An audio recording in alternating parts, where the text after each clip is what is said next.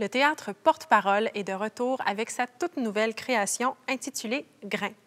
Initialement créée en anglais sous le titre Seeds, cette pièce de l'auteur Annabelle Soutard a remporté le prix de la meilleure création anglophone décerné par l'Association québécoise des critiques de théâtre. Elle a également été nominée dans la catégorie Meilleur texte par l'Académie québécoise du théâtre. C'est cette même production, cette fois traduite en français par la dramaturge montréalaise Fanny Britt, que nous vous proposons. Ce n'est pas la première fois que le théâtre Porte-Parole nous visite. En 2011, cette compagnie nous présentait la pièce documentaire Sexy Béton, une pièce portant sur l'effondrement du viaduc de la Concorde.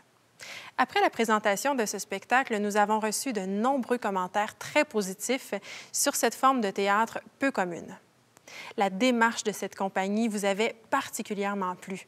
Grain est le résultat d'un travail de recherche qui a duré dix ans et qui a mené l'auteur, Annabelle Soutard, en plein cœur du débat juridique opposant la multinationale de biotechnologie Monsanto au fermier saskatchewanais Percy Schmeiser.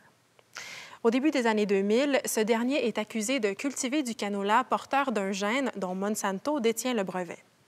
Percy Schmeiser explique la présence de ce canot-là dans son champ par un simple processus de pollinisation, sur lequel il n'a aucun pouvoir.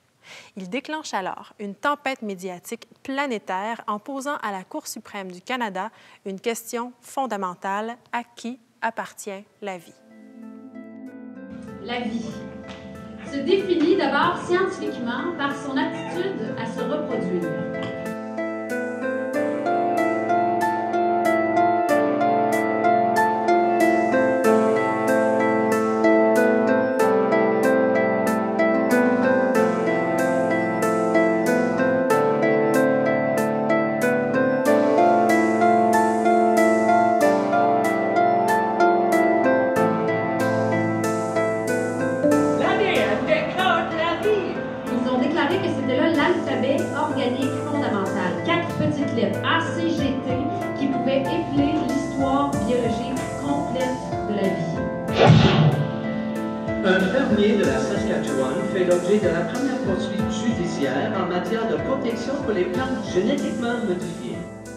Pour nous qui habitons en Montérégie, où l'industrie agricole est florissante, ce débat nous rejoint de plein fouet.